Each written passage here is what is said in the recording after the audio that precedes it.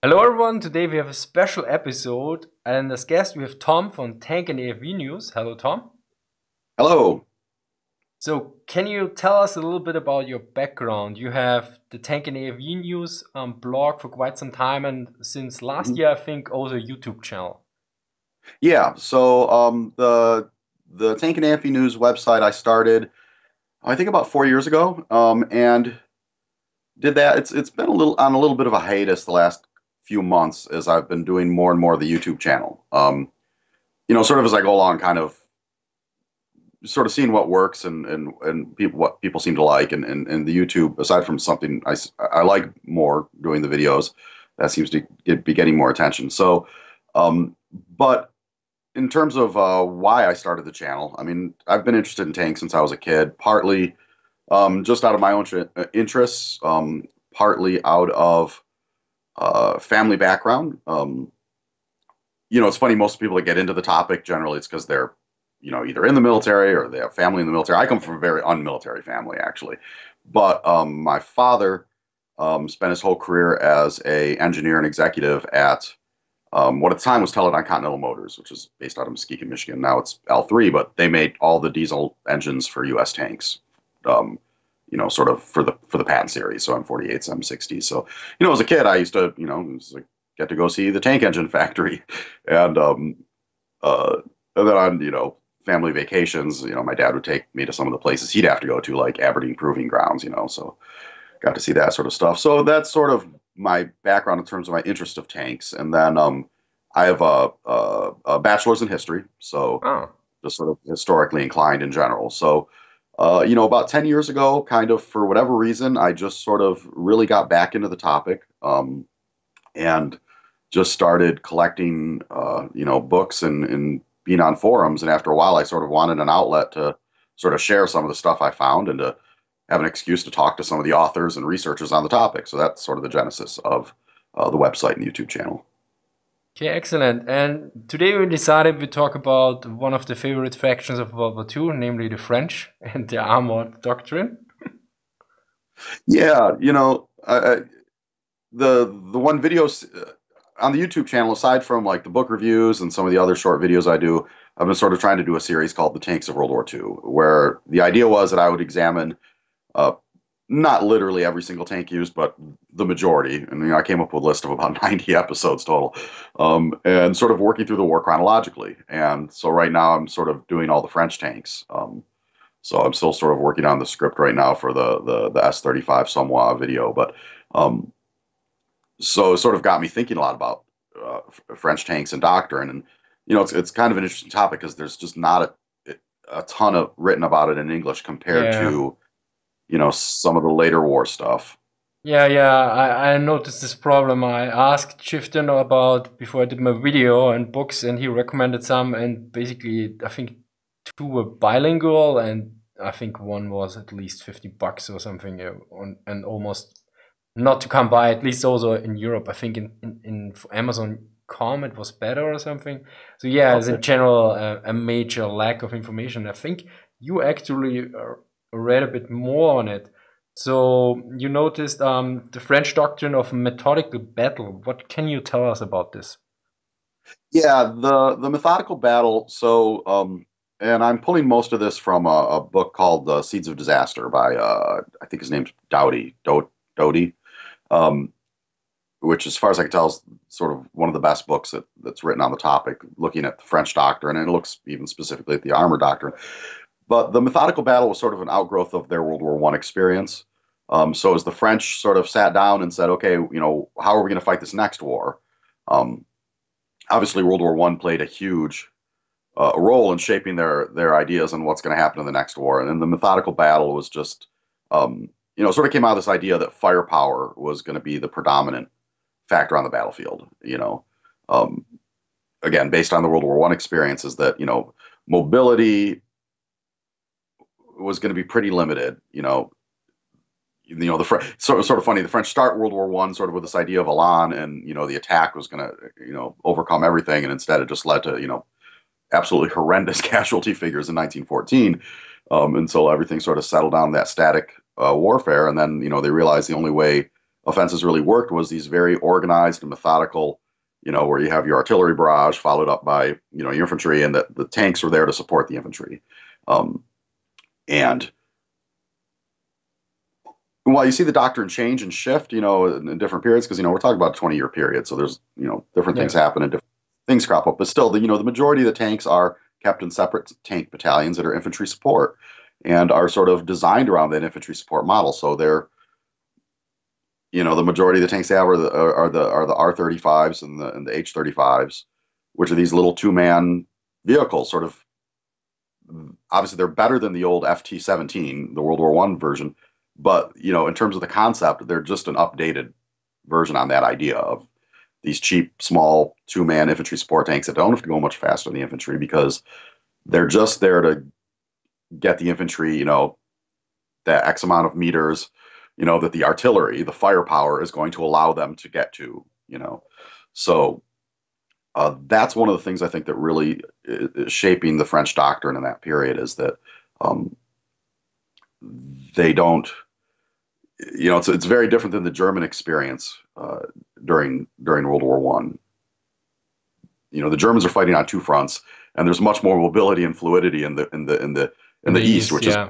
is, you know, I mean, if you've read uh, Citino's uh, "The German Way of War," yeah, you know, yeah. any sort of theory, you know, whereas the French, it seems like their doctrine from war to war, it just it's it's it's like uh, going from one extreme to the other. You know, whatever happened last time that you know they shift it to this you know the one extreme so you know prior to world war one you know it's all this you know we're gonna attack attack attack constantly you know and then they realize that that especially when you're wearing red pants doesn't help very well when you're up against machine guns um, so you know then the post world war one doctrine is this, this very you know not defensive although it definitely installed a really sort of a, a, a defensive mindset in the whole french system. And also just, you know, the thing though that I find most fascinating about that French 1940 campaign is you can find so many different things that are wrong that the French do wrong, but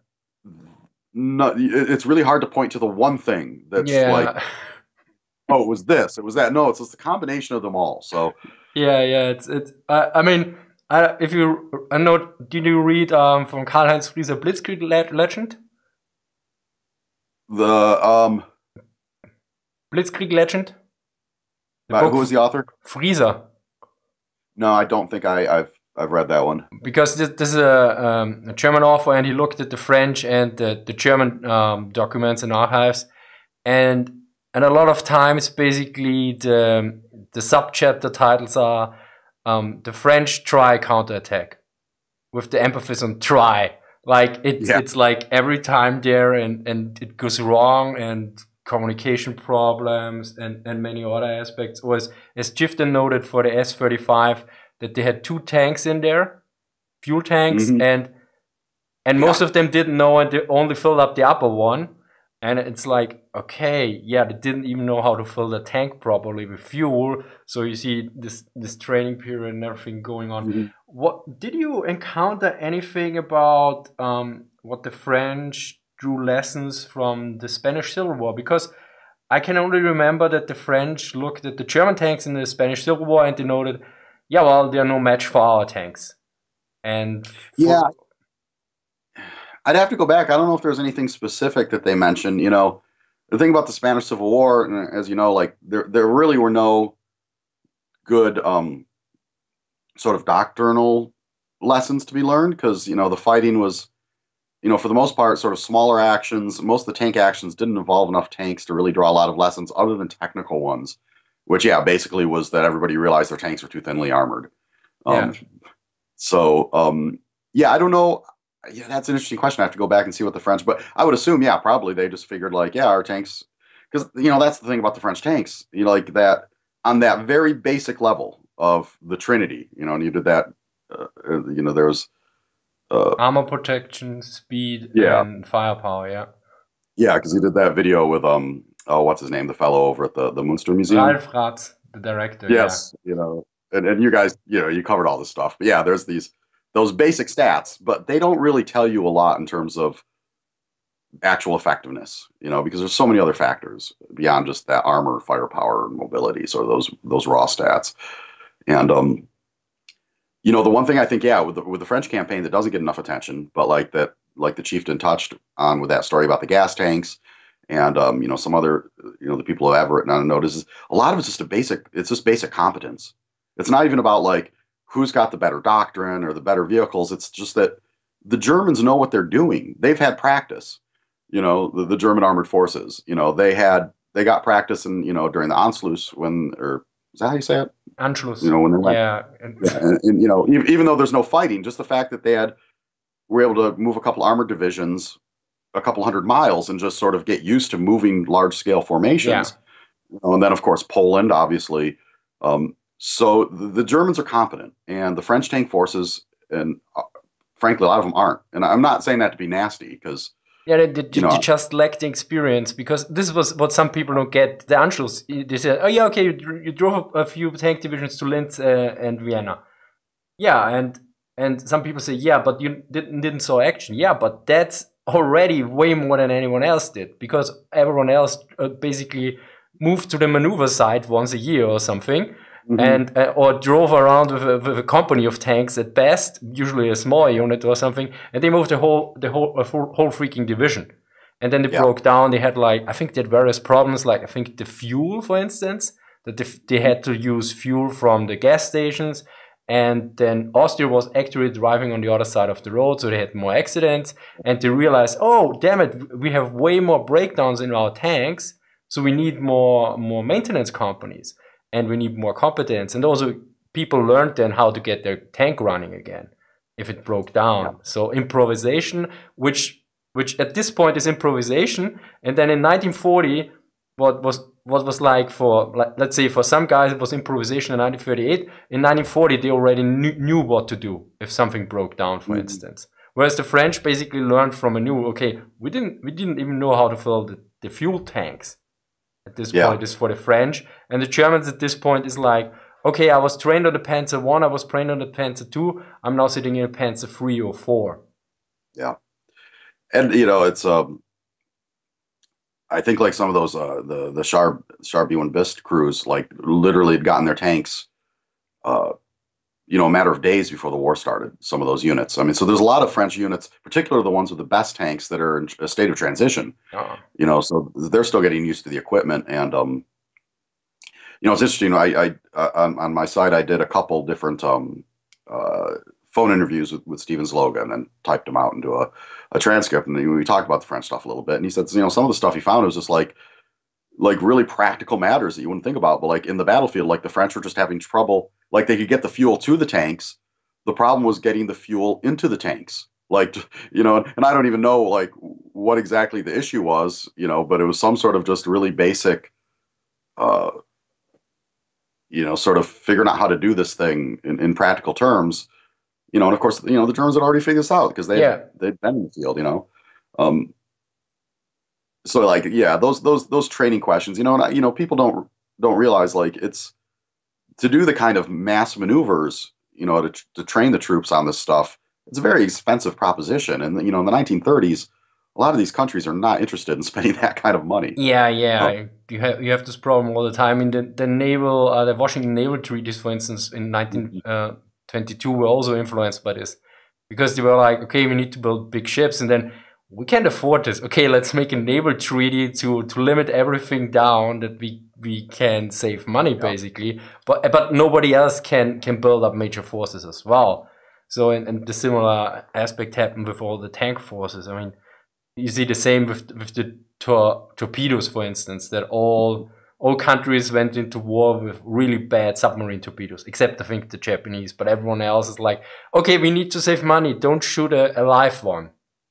Really? Mm-hmm. Don't yeah. shoot a live torpedo. Like, okay, well, mm-hmm. then we don't do this, or once in 10 years or something.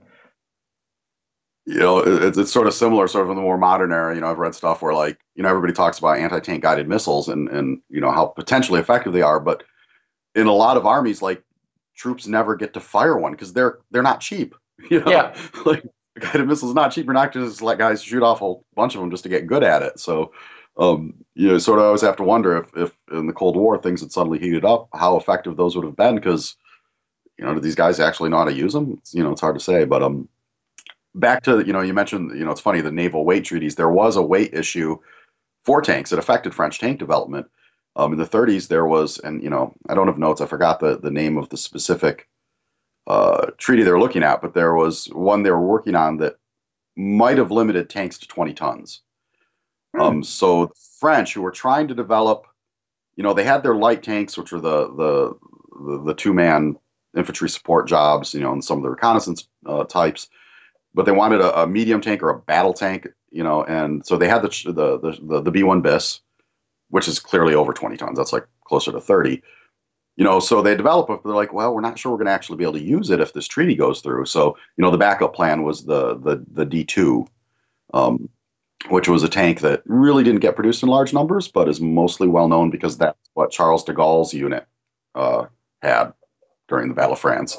So, but yeah, so uh, you know, it's kind of funny that you don't think of weight restrictions on tanks, but that was an issue. Some of those disarmament uh, uh treaties of the 30s. I only know that um, that the Germans also had some weight restrictions because for for uh, for bridges were quite some violent. Then at one point they scratched it, but I think it was 12 tons or something. I remember Chieftain mentioned it, but I never read it, so I'm, I'm always not not entirely sure here. Zaloga mentions actually several um, myths and legends about the 1940 campaign that uh, the French, for instance, deployed them in penny packets. So, yeah. so what what is your thought on this? You know, you know that's that's one of the interesting things, and um, you know, organization of units I think is one of those things that never gets enough attention in, in books because it's sort of a little more, you know, it's not nearly as as as as attention grabbing as talking about the tanks themselves. Yeah, so yeah, I, I know. marketing part, you know, a book of like French tank organization of 1940 is probably not going to fly off the shelves. But yeah, I mean the French, yeah, the famous quote is, and I, I one of the famous French generals or politicians, sort of, you know, their excuse of why they lost the campaign is like, well, we had our tanks organized in, uh, you know, a thousand groups of three, and they had theirs organized in three groups of a thousand. There's a, there's a kernel of truth to that, but it's it's it's it's a real simplification. Um, the the success of the the Germans wasn't because they had their tanks massed into huge units. Like that's not the key. Like lots of people, actually, everybody was doing that. Yeah, in that yeah. Period you know, the Russians were doing that with these huge all tank formations, and they just got destroyed. You know, a year later in Barbarossa. You know, the key of the German success was that the Panzer divisions were a balanced combined arms unit. Yeah, exactly. Yeah, operate. But they did have, you know, the truth is they did have all their tanks concentrated in those ten Panzer divisions. Um, you know, the French had, I think, uh, again, I don't have notes in front of me, but you know, they had they had a couple different things close armored divisions. I remember Citino mentioning something that the French had two different kind of formations, and one he noted I think was too slow, and the other one didn't have enough punch. Yeah, um, they they had the um, the DLMs and the I think the DCR, and uh, don't ask me to pronounce them because French is not my. Uh, yeah, I noticed. I, I know the problem. one one both of them lacked um, infantry and artillery support to the degree that the German panzer divisions did, which yeah. is sort of like everybody had that issue. You know, the bigger problem with with the with the French mechanized divisions, they were in the wrong place. You know, they're all mostly um, stationed, you know, further up north because you know they're sort of anticipating, you know, a repeat of the the the Schlieffen plan, you know, where the the offense is coming through the Low Countries there. Um, so you know they've got their best units stationed up there to sort of reach, you know, rush forward to a you know, it was at the Dyle line, I think, was sort of where they were planning to to make their big stand. And so it's sort of in that part where you get some of those, um, you know, interesting uh, tank battles. You know, which you know Zaloga wrote about a couple of those in the, the Osprey Duel series, the the S thirty five versus Panzer three and uh, Char B one bis versus Panzer four. But you know those units aren't aren't there where the where the actual uh, main offensive through the Ardennes is coming. So uh, that's the biggest problem with the French armored units is they're in the wrong location partially. Um, but then, yeah, the bulk of the French tank force is in separate battalions, you know, that are intended for infantry support that are assigned, you know, at the, at the sort of corps army level, and then you know attached to infantry divisions for specific tasks.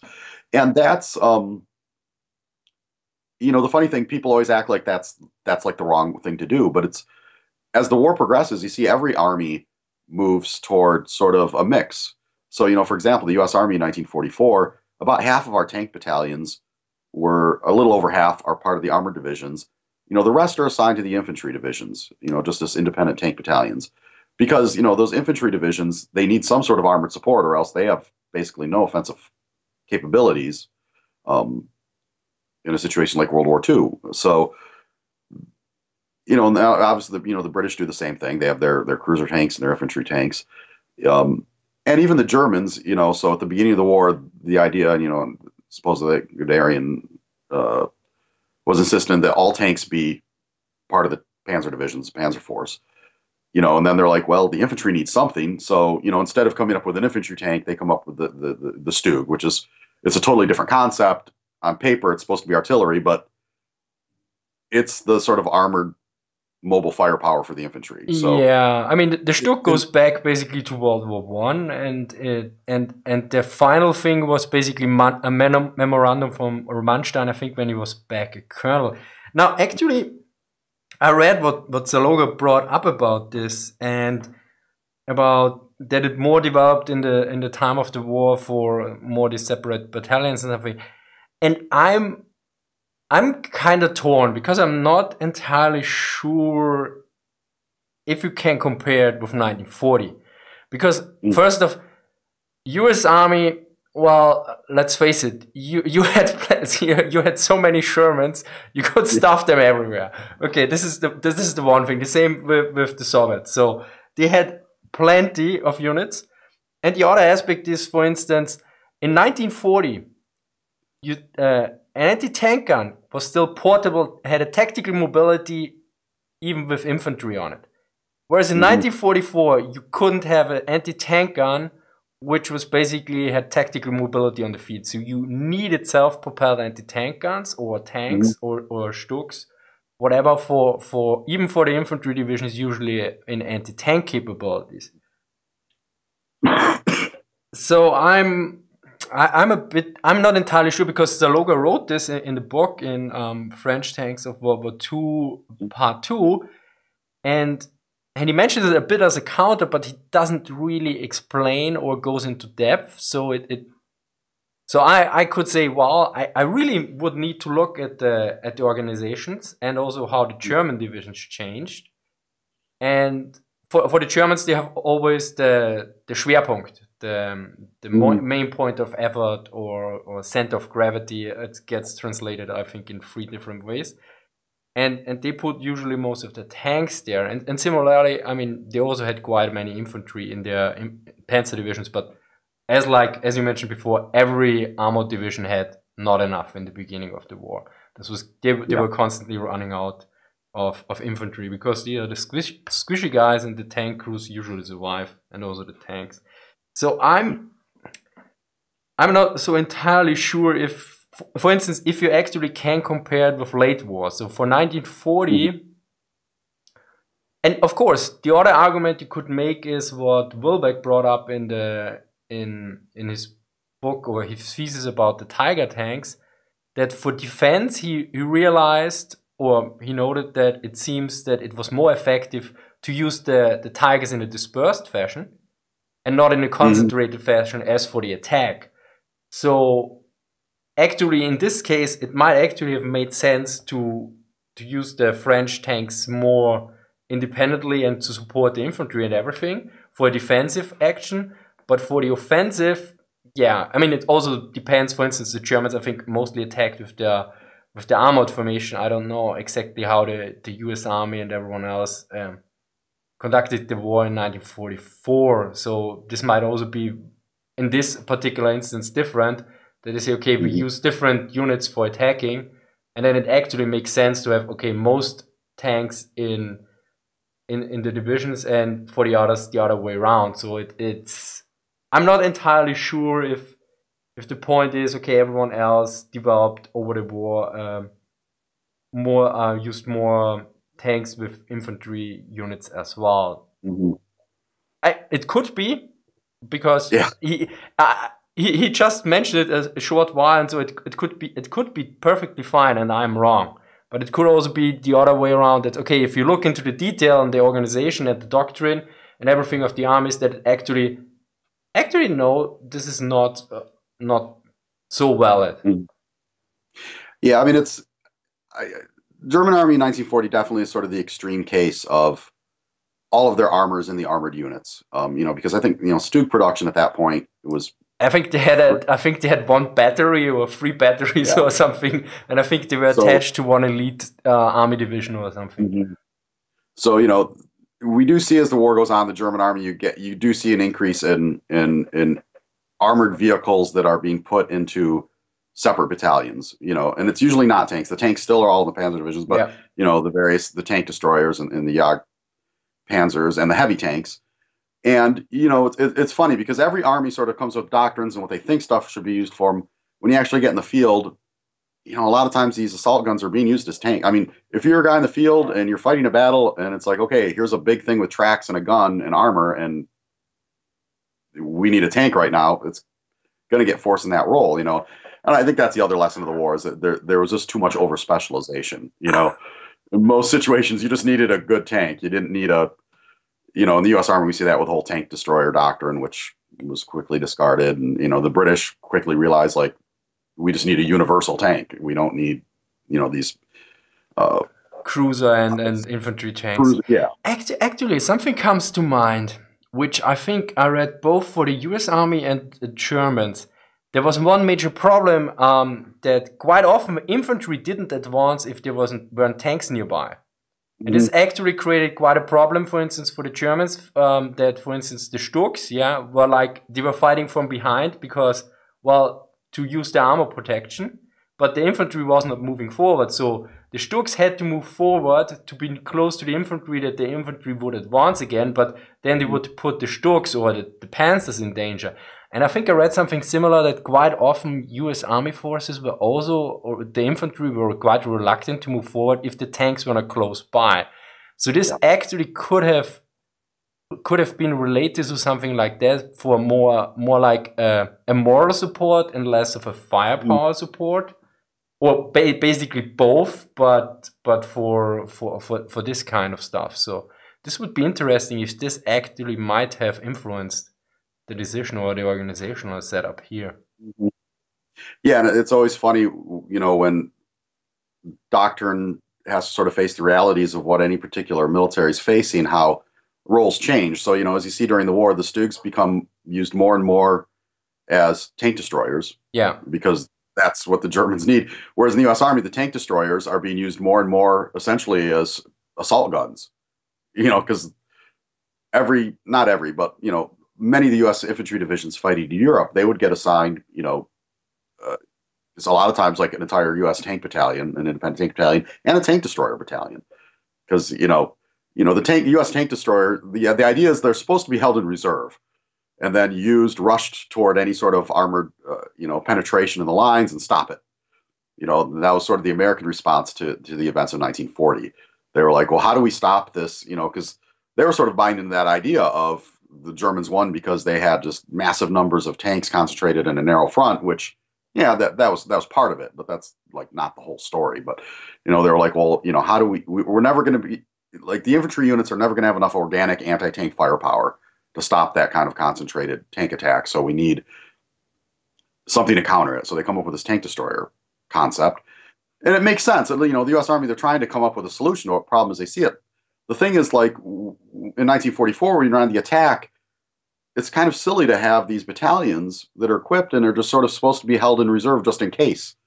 You know, so you know everybody's like, well, you know, they look like tanks. Give them to the infantry. You know, assign them to the infantry, and they get used essentially as sometimes as self-propelled artillery. Uh, you know, even doing indirect fire missions, but a lot of times as assault guns.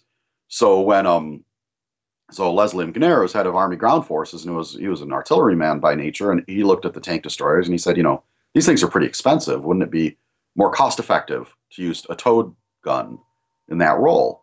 You know, and they tried to do that. Partly they picked a pretty rotten gun, which is the U.S. 76 millimeter anti-tank gun, because it was um, they just slapped a three-inch gun on on the 105 millimeter howitzer carriage, which made it just a really tall and heavy piece of equipment. But the bigger issue was that the infantry looked at that and, and they're like, no, we want those things that look like tanks because you know they can help you know help us help us you know shoot our way into the tar- into the into the wherever we're trying to go. You know because they're mobile and have armor, not a great amount of armor. You know these U.S. tank destroyers, they're really not well suited to that role of assault gun, but you know that's what they got used for because that was the need and this is what's on hand. You know so. Yeah, I mean, you know, this is also influenced by, by the change of the, the situation because the Stugs basically were made for attack, but then they are mm-hmm. fighting anti-tank role because Germany is not a strategic defense. Whereas the yeah. tank destroyer concept seems more defensive, but yeah, the Germans are not really attacking anymore, but we are attacking. So yeah, let's use the tank destroyers as assault guns or supporting the infantry basically, because so so it's the intended role well didn't account for the strategic change sometimes I guess, or what what would be happening. So you could say actually yeah. they were intended correctly, but yeah, mm. the the war changed in in a few years, mm-hmm. of course. Yeah, exactly. And um, you know, the other thing to note with the Stug is just that it was a really excellent vehicle. Uh, you know, part of the reason you know they produced so many and it was it was they I think you know relied on it so much. Um, you know, for these sort of missions is because it was just a very good tool. It was one of their best armored vehicles by far, and certainly one of the most successful. And you know, it's funny because it's not a particularly glamorous one. It's it, you know, it's not like a King Tiger where just you know is this imposing, cool looking thing, but it just it it worked. It was sort of the right size for what armies at that point could maintain in the field. Um, you know, so yeah, I'm a big fan of the Stug. It's it's probably my favorite of the German vehicles. I think. Well, I, I don't think you can see it right now. I think it's over on this shelf behind me. Ah, yeah, yeah. Yep. Yeah, so, I mean, I mean, the Stug was was basically. I mean, it was also very reliable because it was built on a Panzer III chassis, so they had a lot of experience with it in in the long run. So this is also what what some people forget that when they look at at at Tiger and Panther and say, oh, they were really unreliable. Yeah, um, you don't want to look at the first Panzer III or Panzer IV. they are probably not so reliable as well. Mm-hmm. Yeah, it's funny, you know. You know, with German stuff, at least what's published in English, um, so much of it's based, you know, looking at the later war tanks because those capture the imagination. I admit, when I was a kid, like a teenager, those are the first models I, I, I didn't go like rushing to the store to buy a model of a Panzer II. I wanted a model of a Panther. You know, yeah, it's cool. You know, but um, all the German successes were with these really not terribly impressive vehicles. Mostly you know, with like, the Panzer One, actually, because yeah, you know, Panzer ones and twos, and um, you know, although you know, it's funny. I did the video on the Panzer One, and um, it's a pretty nice little design compared to like the tankettes of everyone else. You know, and that's essentially it's a tankette. It's not even a light tank. I mean, it's in that same weight class. It's armed with you know a couple of machine guns, but um, it, it, you, you can't be too critical of it for you know especially for that that's sort of their first design where they're trying to establish their own tank industry and come up with something like you know what's something that'll be useful that we can start producing just to you know get that practice at producing vehicles so um, yeah don't let pe- don't ever let people make fun of the panzer one you know obviously not you know it, it, it, it was a very important vehicle even if it wasn't a particularly impressive vehicle i guess i'd put it that way yeah, yeah. I mean, the the Panzer one, I, I saw recently one at the Panzer Museum, and it's like I'm standing in front of it and like, I'm like, yeah, but what do I do against this little bugger if I only have a rifle? And it's like, yeah. oh, it has two machine guns. Okay. Mm. And, and then you realize, okay, uh, uh, this thing is small, but it's it's still well armored, and everything, uh, and it has a turret with two machine guns in it, and it comes in packs of five at least okay, that's that's ten machine guns. It this is not this is a lot of firepower basically on a on, on a very fast and also since it's rather small, it's not so easy to hit neither.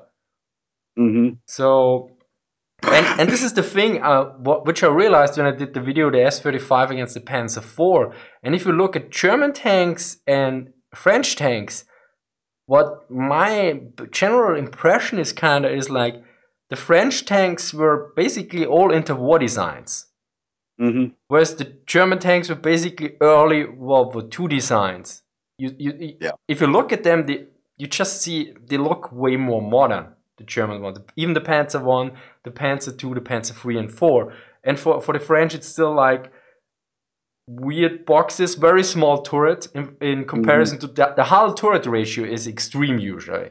So you have this yeah. very small turret, usually one man or one and a one and a half man turret, and and and also even if you look at the tracks, if you look at the tracks, it look basically like World War II tracks usually. Whereas the Germans, you look at it, oh, oh, this is very finicky, complicated looking in comparison to the to the French, uh, basically welded plates or or, or molded plates, like, and you, you say kind of okay, this yeah. is kind of weird. Yeah, the, the, it's funny. The French tanks uh, the the Char B1 bis is is is certainly the one that's because that's like sort of the development goes all the way back to like the the, the 20s um, and it just took them forever to develop that and it, it definitely has it, actually that's one of my favorite tanks too of the war because it's just so weird. I, I have a weird uh, any any of the the the, the tanks that have um, multiple guns like the M3 Lee I just think are there's just something inherently cool about them even if it's not a good idea. But yeah, that that Char that B1 bis is definitely has a World War One look to it. I mean, yeah. you got the tracks all the way around. That one in particular, but some of the other vehicles that were really common in that in in, in uh in 1940 were 1930 designs and mid 30 designs. You know, it's just the French had sort of certain ideas. Uh, again, like partly having to do with um, uh, financial reasons. Some of it's like sort of industrial, what we can build so yeah, they just really thought that that one man turret was a good idea, which obviously it wasn't. Um, but you know, and then like those little two man tanks, and they were like, well, you know, in the last war we were at a manpower disadvantage versus you know against the Germans. Um, it's really important that we have. Uh, we don't we don't want a three man tank for this sort of infantry support role because they, they had the D D one and D two which were three men. They're like they like issued a new uh, requirement saying no, we want something that will re- basically be the size of the old FT to do that two man uh, role because it's it's efficient from a manpower standpoint. And you know maybe if you're getting a protracted war, that's an issue, but you know, when the war, like, you know, what's the point of, of intentionally having a, a more limited tank for the sake of saving manpower if it means that, you know, your tanks aren't going to be as good and it might be a contributing factor in losing in two months. So but yeah, the, the the and of course they kept for the sake of sort of economy, like wanted to sort of use the same turret over multiple platforms. Well, if that basic turret that you've picked is kind of crappy, that's to mean all your tanks are going to have that same limitation. So, um, so all those little infantry tanks have that that same turret. It's a one man turret. It, you know that that third. You know the other thing, you know, you can pick on the Panzer One for having two machine guns, but how is that any worse than that short barreled 37 millimeter gun that's on the uh, uh, the R35 and the H35. It's a World War One leftover. They literally took them out of the old FT tanks and put them in these new tanks to save money. You know, and, and from what I've read, the thing it's it, they've people compare it uh, basically to like a modern like 40 millimeter grenade launcher in terms of lethality. Although they said it's not as good. So you've got a you know along with a you know magazine fed machine gun, you've got a tank that's basically got the firepower of a modern U.S. infantryman who's carrying a you know, assault rifle grenade launcher combo. that's that's not very impressive. Um, so so yeah, every time you look, you're like, oh well, all their tanks had cannons. It's like yeah, but those 37 millimeter guns, they don't. You know, especially if you go back and read in like in World War One, the the infantry version of it, because it was just, you know sort of came from the infantry gun, and those were not popular. They weren't effective. So I think that's a very good point. But uh, what you mentioned that they were many were designed in the 30s, but a lot of reuse happened.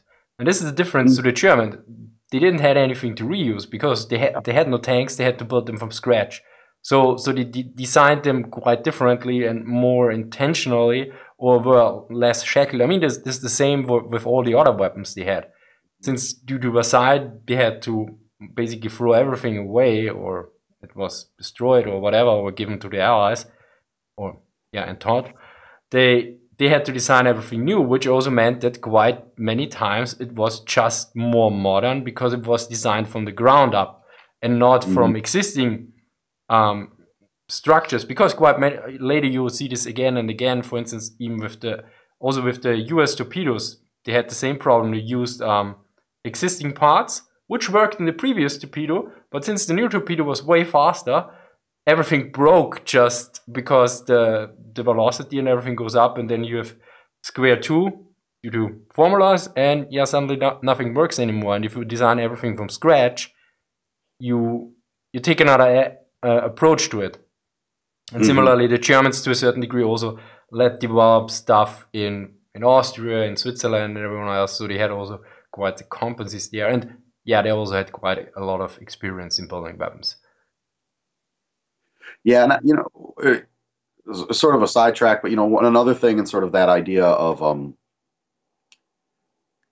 tank development in that period that sort of gets overlooked is is engines, and this is sort of one thing that I, I kind of harp on a bit, and it probably has to do with just my own background of, you know, my, my introduction to tanks was my dad's job, which was all around engines, you know, and it, it, it's a really underrated point because the thing about engines is they're probably the most of all the different components in a tank, they have the longest development period. You know, it takes they're complicated. It takes a long time to develop one. You know, guns are, you look at gun development, it happens much faster than engines. So World War II, everybody's sort of fighting the war with the engines that they have. You know, the Germans have the advantage of that they had actually put aside, you know, Maybach's developing engines specifically for use in tanks. Um, so they've got some good engines, you know. Um, uh, you know, I'm blanking on designations, but you know, the the engine in the Panzer three and four, it's intended for tanks. They're not trying to you know take an airplane engine and convert it you know, and then later they have the HL 230, which is, you know, powering, you know, the reason they can have those big, heavy cats is because they've got a decent, very compact, made for that purpose, 600, 700 horsepower engine, depending on how they've got it governed, you know. Um, everybody else, in particular the Western Allies, is sort of scrambling. So, you know, you look at the French tanks in 1930, and it's sort of like, you know, Renault or Hotchkiss, they're just sort of looking around and finding an engine and throw it in there. And, you know, even if they'd wanted to make something bigger and more impressive, they probably didn't have an engine to power the the thing, you know. So, or the British, you know, spent half the war messing around with old Liberty engines, which is yeah, it was a great engine when it was designed in World War One. so, you know, in the U.S. with the Sherman, I mean, you know, it's a fantastic story. I love the Sherman tank, you know, and all the different crazy engines we had to put into that thing. But you know, we're running radial airplane engines, like so that you know that that when you look at the success of say you know German tank design or Soviet tank design, partly it's based around the fact that they've got a good engine to start with. The Soviets have the V2, the 500 horsepower diesel. Um, you know, it's not perfect, it's it, but it was a, a, great basis for them to move forward.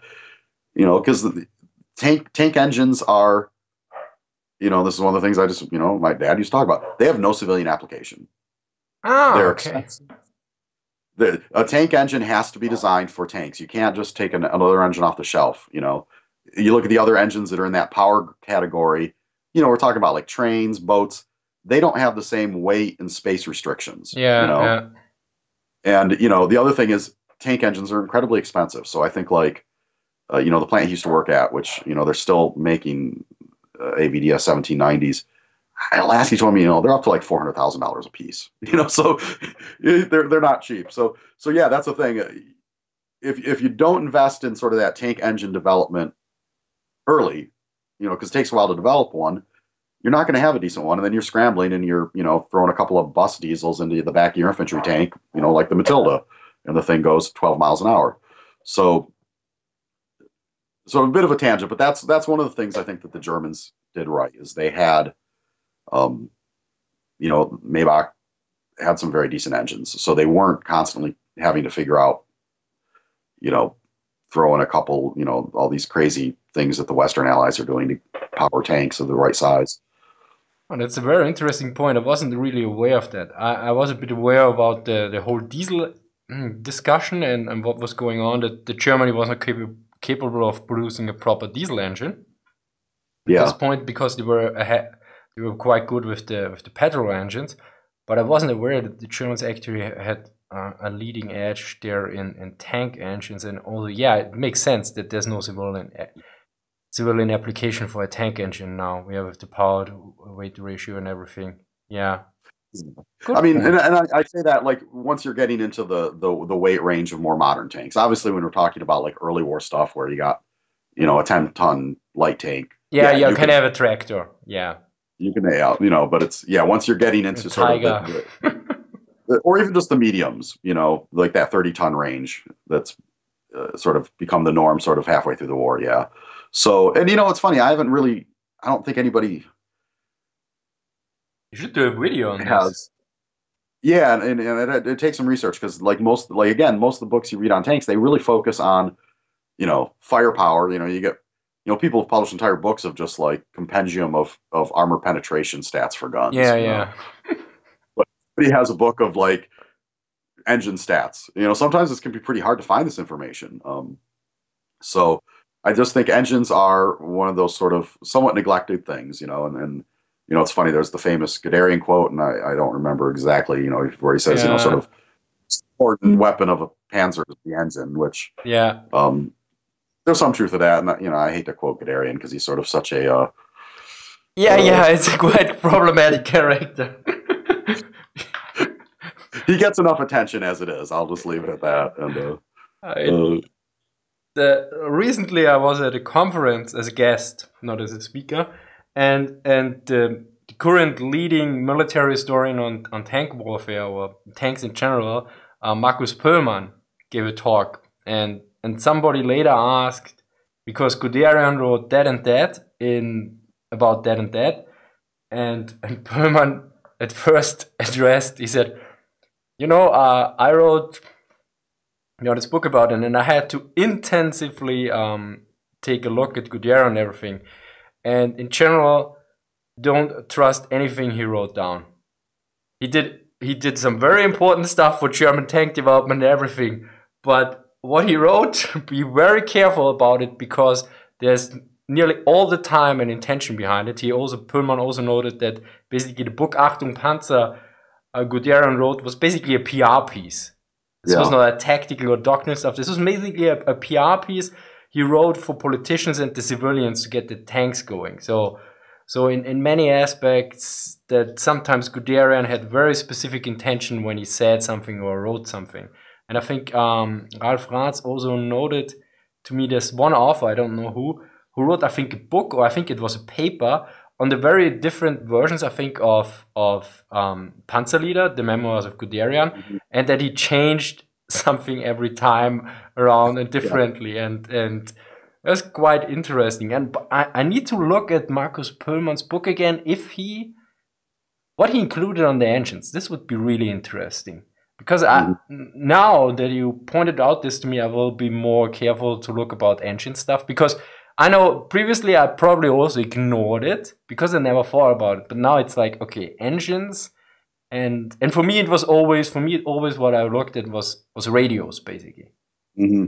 Communications is is the the aspect which gets mostly ignored because the Germans had very good signal troops and especially also in the tanks and most people don't care about this but yeah if you're on the battlefield or or behind the battlefield without communications nothing happens but the engines yeah is more tank specific more on the technical side, and and I neglected that way too much. I think, yeah, good yeah. point.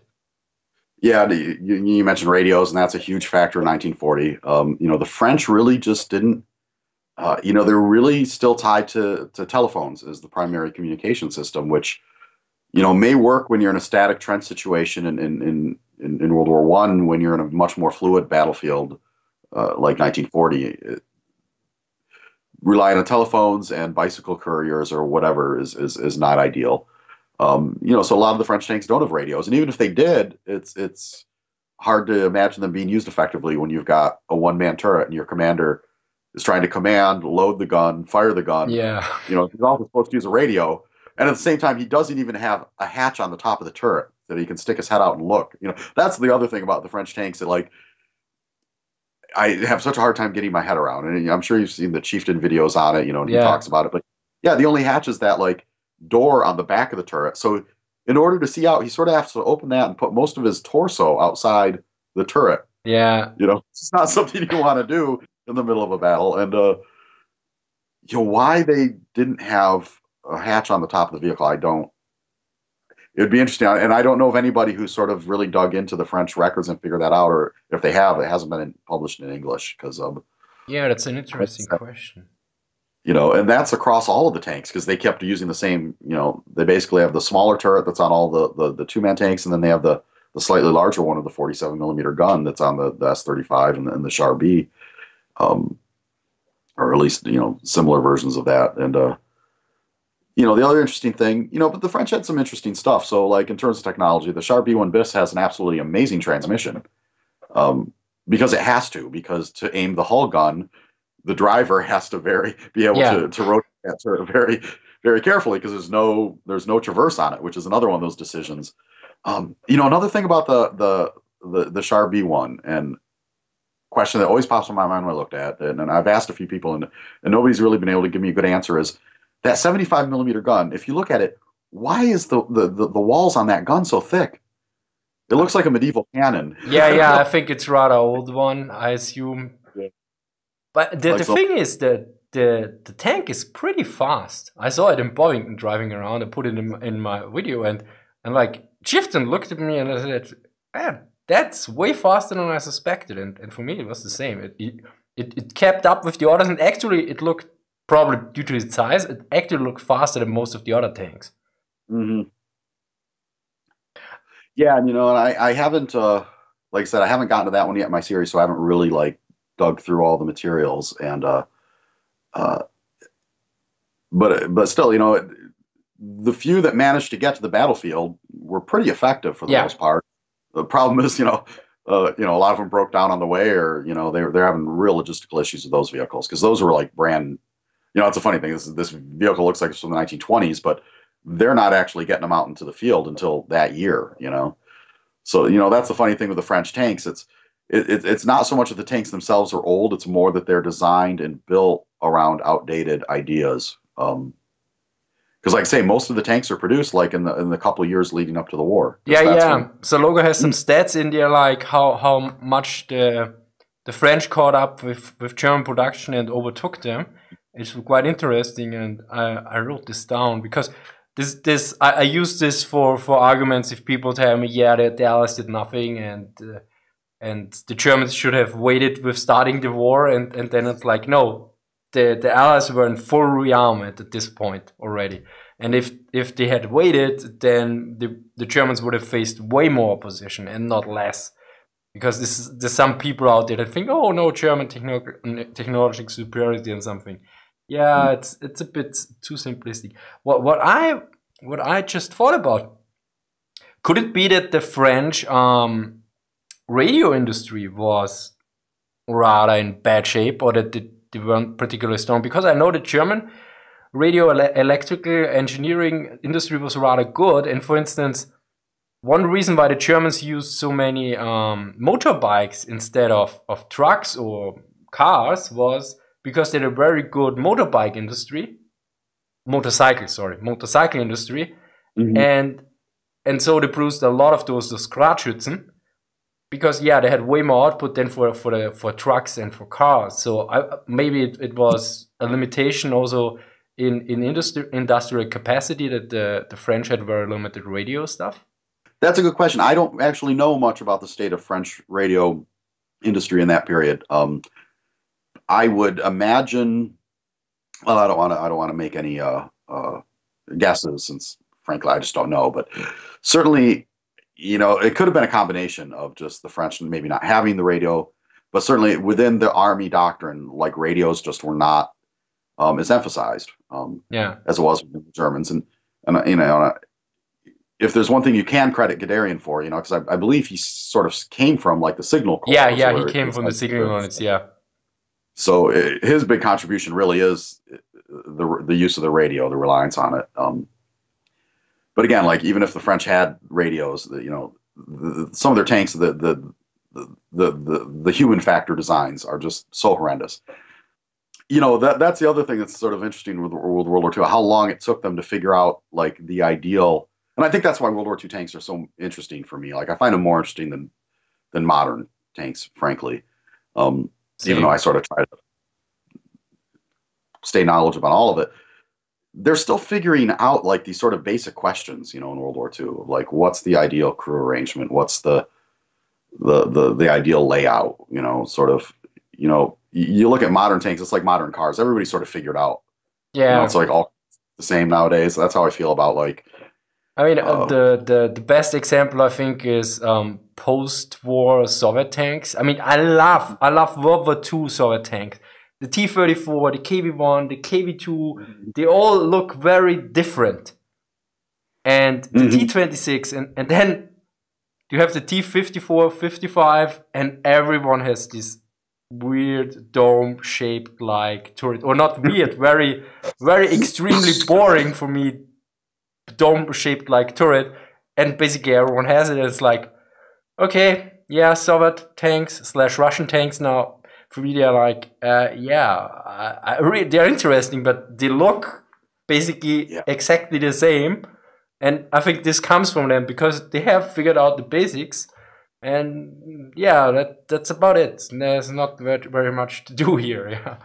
Yeah, it's you know, I mean, I can tell the difference between a T80 and a T72 and a T64 if I see one, but don't ask me like the sub designations. Yeah. T70.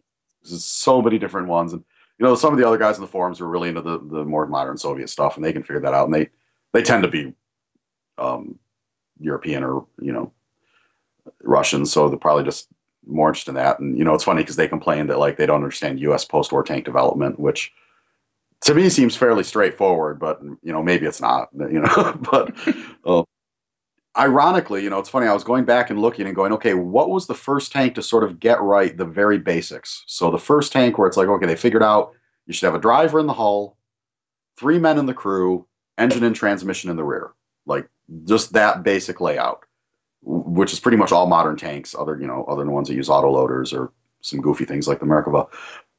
The first tank I can figure out that actually had that arrangement is the Matilda, which is funny because you don't think of it as a particularly modern tank even for its era. But um, and it was sort of an accident because the British built it and realized they couldn't, it wasn't wide enough. They couldn't fit a whole machine gunner in it. What, so they what, sort of. was the Matilda one or two? The two, Matilda two. Ah, okay, yeah. You know, and it's not like the British even realized like, oh, that's actually like sort of the ideal crew layout because all their cruiser tanks that came afterwards, they had all sorts of silly things like they're still putting whole machine gun turrets on those early cruisers in 1940. So, but you know, it's just the thing. I was like, okay, what was the first tank that actually had that layout? And I was like, oh, Matilda. That's kind of funny. Um, because there are some very good aspects of British tank design in World War II. That's what's so frustrating about the British. The British had figured out a lot of stuff. You know, like them and the Germans are the only two in the 30s that really figured out you have to have a three man crew for a turret in, in your sort of medium tanks. You know, everybody else is still goofing around with one and two man turrets. You know, so you know the British had figured out quite a few things, but they just never they just never able to pull it all together into something yeah. that's actually good until you know 19 the you know the end of the war finally when they come out with you know Comet and then Centurion. It's it's, it's such a frustrating thing, you know. But also you have to realize, you know, in terms of development time frames, you know, World War II is only seven years total. I mean, there's a lot of like like I said, the Char B1 bis that thing was in development for over a decade, you know, before it hit production. So, you know, you you look at development during World War II, and it's if you don't already have stuff that you're already working on. You're not going to get it out in time. Yeah. the end of the war, you know. And I, I, think a lot of people don't realize that when they when they they they don't understand how complex these machines are, how long it takes to develop it, and then also how long it takes to set up the assembly lines. Yeah, yeah. This is I I don't know the numbers actually for tanks, but for for planes, I think it was like up to five years with the whole mm-hmm. development cycle, and and people are like just yeah the Messerschmitt 262, you just it was just came too late because Hitler delayed it. No, he didn't delay it. It couldn't just get go faster. This is complete new technology, guys. It's not like yeah, the first prototype flew back then. Yeah, the prototype, and mm-hmm. the engine worked like for I don't know five hour, hours or something. And back yeah. then they had still heat resistant material to go with. They didn't have that then later on, and so so it's like people sometimes it's not a computer game. You don't click on research and then okay, it's done, and now I can produce it. Yeah, and setting up the assembly lines and everything. It's it's insane. I also I think you know that the data from from Adam Tooze in Wages of Destruction for the for the 109 like the the production efficiency it, it just go, goes up with every month basically. But if you put it in first in production, it's just nothing's gonna happen mostly. Yeah, or then you retool your your assembly line and this takes several weeks or months sometimes. It's not like you just click there and, and it happens. Yeah, I mean the, the the thing you see again and again with the Germans in World War II, it's, it's not that they're delaying introducing; they're introducing stuff too soon. You know. Yeah.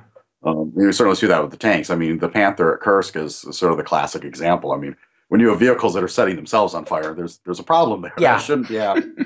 um, and you know, it, at the same time, it's you know they're in the middle of a war. You want to get this stuff out there you know, as quick as possible. Uh, but but yeah, some of that. Uh, but yeah, German World War II tank production and design and policy. It's there were some odd decisions. That's all I'll say. It's uh, uh, you know, there's some technical brilliance. There's some really innovative designs, but you know, sometimes you sort of have to shake your head at like the decisions, like why you know. And again, a lot of it's made out of desperation. The one, you know, one stat, uh, off on another tangent, the one stat that's always sort of when I first saw it, like just I, I, my jaw almost dropped. German tank production for 1945 was higher than German tank production for 1941. Yeah, I think that's pretty much. Uh, I, I can't confirm it, but it, it, wouldn't surprise me. I mean, if you just go to like the Wikipedia page for like World War II German, they, they, they have a chart. And I've looked at other sources because they were just like, "Hey, 1941, we're going to win in Russia. We don't need more tanks." Yeah, yeah, they, they were They'd switching to to Luftwaffe and Kriegsmarine production at this point. Yeah. yeah, and but there was also, I think, wait, there's some some important point.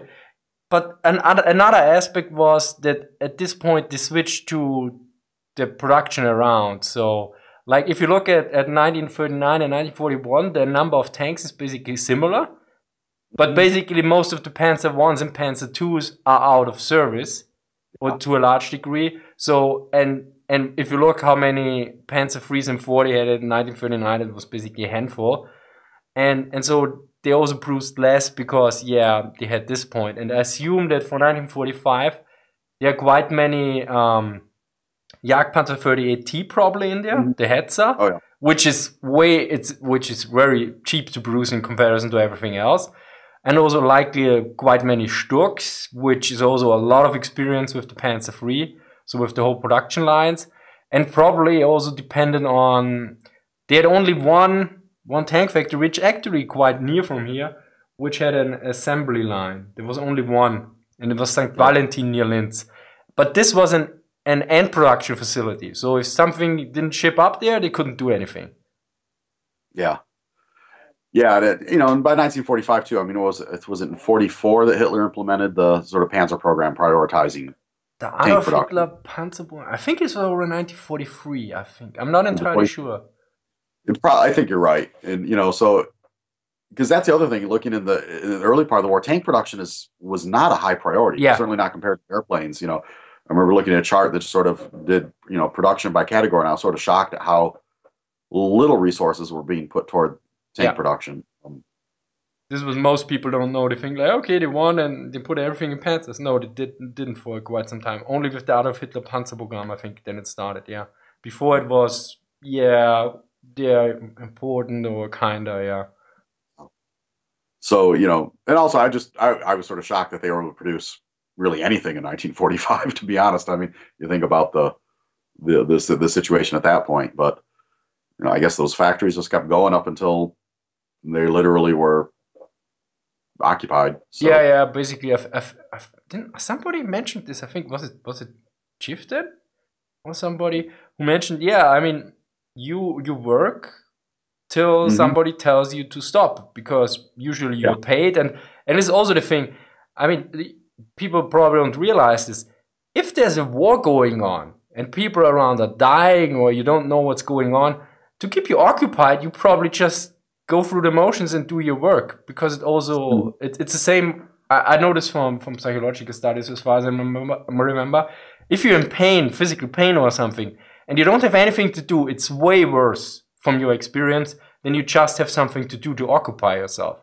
So I wouldn't be surprised if if if and maybe at this point people are just not paying attention to where, where the front line is or they just go to the factory, do their job, get the especially it could also be that they get um, paid in rations. Mm-hmm. And if you're getting paid in food rations, you pretty sure show up for work. Yeah. Well, you have, You know, let's say you have way more motivation than than if you get a paycheck somewhere down the line at the end of the month. Yeah. And also just the fact that a lot of these guys probably wouldn't even know. I mean, if the Allies are 10 miles from their factory, Yeah. it's not like, you know, not that they can go home and turn on the TV and, and, and, and, and Goebbels is giving, be, giving, you know, updates. The Allies are only 10 miles away. And like, no, I don't, I don't think that's how it worked. So, you know, communications, I'm sure, and, and media, you know, particularly in a, in a, in a dictatorship like that, you know, unless you're, you're hearing it word of, word of mouth, you're not even going to know what the, the, the bigger situation is probably. Yeah. Um, it, it would be interesting. You know, I, wonder if anybody's ever interviewed German civilians at that point. Sort of be like, well, you know, was it just you woke up one day and you're like, good lord, there's Allied forces coming into our town, you know, or I mean, I mean, they, sure they were were- fleeing to a certain degree, but uh, in 1945, to a certain degree, where you're gonna flee to at, at, Yeah. at certain points, or or what what you don't want to trust? I, I don't know if they prevented Mm-hmm. fleeing, as far as I know, not. But yeah, I mean, it's it's a I think it's a situation we can't really. Well, it's pretty hard to to put ourselves into those shoes because I mean the communication situation now is completely different, and then also they had a war going on for for several years. They were bombed. They were. Uh, I, I mean, some people would probably point out, yeah, but you, if if the troops are near, you probably could hear artillery. Yeah, can you tell the difference between an, an AA gun firing and an artillery as a regular civilian? Mm, likely not. yeah, it's I'm sure an incredibly chaotic and fluid situation. I think we can all be happy that it's the one we didn't have to experience. That's for sure.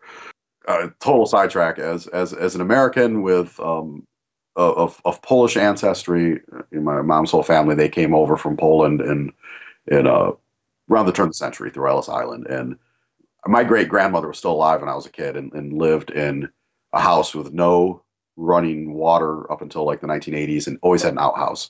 You know, and my parents used to always talk about like, oh my God, you know, like there's a so old country and so poor.